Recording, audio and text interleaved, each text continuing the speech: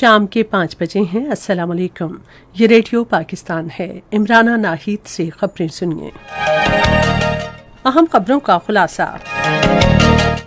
योम दिफा और शहदा कल मनाया जाएगा, जिसका मकसद शहीदों और गाजियों को खराज तहसीन पेश करना और इस अज़म का इजहार करना है कि तमाम खतरात में मादरे वतन का दिफा किया जाएगा। वज़ीर इतलात ने कहा है कि पाकिस्तान कश्मीरियों की हक के खुदरादियत की जदोजहद में उनकी हिमायत जारी रखेगा। वज़ीर कानून ने वज़ीर आज़म को फौजदारी कवानीन में असलाहत और मुजवजा तरामीम के हवाले से मुरासला भेज दिया है। यमन में सऊदी अरब की जेर क़्यादत अरब इतिहाद ने दमाम शहर के इलाके रास तनूरा में हौसी बागियों की तरफ़ से दाखिल गए एक बैलिस्टिक मिसाइल और आठ मुसल्ला ड्रोन्स को तबाह कर दिया है। और अब खबरें तफसील के साथ। योम दिफा और शहदा कल मनाया जाएगा, जिसका मकसद शहीदों और गाजियों को खराज तहसीन पेश करना और इस अज़म का इजहार करना है कि तमाम खतरात में मादरे वतन का दिफा किया जाएगा। उन्नीस सौ पैंसठ में 6 सितंबर को भारतीय फौजियों ने पाकिस्तान पर हमला करने के लिए रात के अंधेरे में बैन अवी सरहद अबूर की, लेकिन कौम ने दुश्मन के मजमू मजाइम को नाकाम बना दिया। इस साल योम दिफा शहदा का मौजू है। हमारे शहदा, हमारा फ़ख्र, कासियों, शहीदों के तमाम अज़ीज़ व को सलाम। मसाजिद में नमाज़ फजर के बाद मुल्क की तरक्की, खुशहाली और गैर कानूनी तौर पर भारत के जेर कब्जा, जम्मू कश्मीर की भारत के जाबिराना चुंगल से आज़ादी की दुआएँ की जाएँगी। शहदा के लिए फातिया और कुरान खानी भी की जाएगी। दिन का आगाज़ विफाकी दारकूमत में इकतीस और सूबाई दार हुकूमतों में इक्कीस इक्कीस तोपों की सलामी से होगा। रेडियो पाकिस्तान, मादरे वतन का दिफा करने वालों को खराज तहसीन पेश करने के लिए मिली नकमों और शहीदों और गाजियों के अहल खाना के इंटरव्यूज़ पर मबनी खसूसी प्रोग्राम नशर करेगा। वज़ीर इतलात नशियात चौधरी फवाद हुसैन ने कहा है कि पाकिस्तान मौजूदा मुश्किल वक्त में कश्मीरी अवाम के साथ खड़ा है और हमेशा उनकी हिमायत जारी रखेगा। आज लाहौर में सहाफ़ियों से बातचीत करते हुए उन्होंने कहा कि पाकिस्तान सत्तर साल से जायद तवील अरसे से जारी जदोजहद आज़ादी पर कश्मीरी अवाम को सलाम पेश करता है। उन्होंने कहा कि भारत कश्मीरी रहनुमा सैयद अली गिलानी के जनाजे से भी खौफसदा है।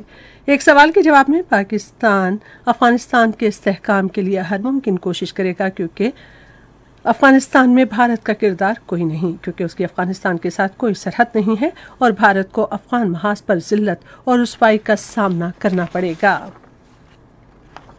फवाद चौधरी ने कहा कि पाकिस्तान एक जाम अफगान हुकूमत की तश्कील की हिमायत करता है, जिसमें तमाम धड़े शामिल हों, ताहम हुकूमत की तश्कील अफगान कौम का मसला है।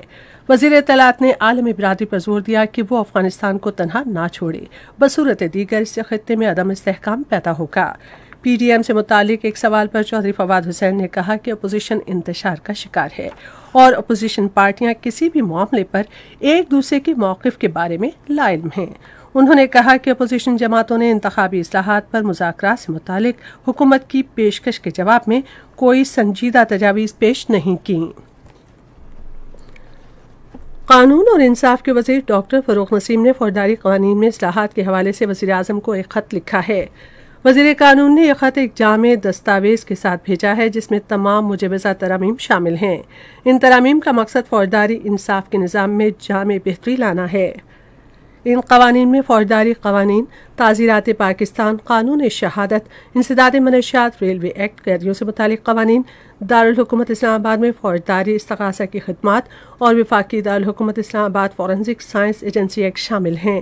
इन कवानीन में तरामीम के लिए तमाम मुतल महकमों से राय ली गई है।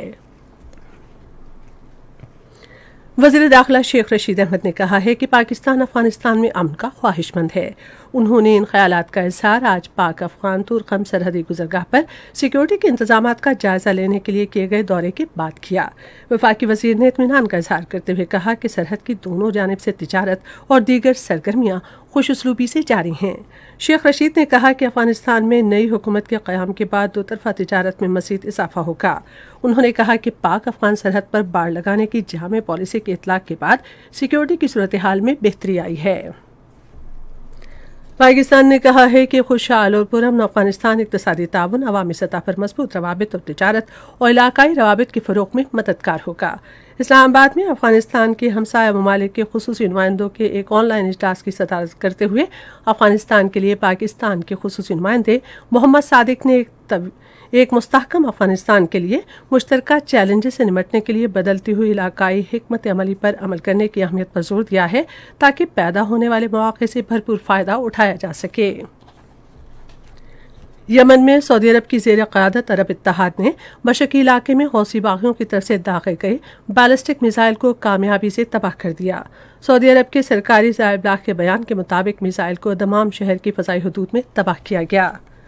इराक के शहरों किरकुक और मुसल में पुलिस और फौज पर अस्करियत पसंदों के दो हमलों में तेरह सिक्योरिटी एहलकार हलाक और चार जख्मी हो गए। इसके साथ ही खबरें खत्म हुई।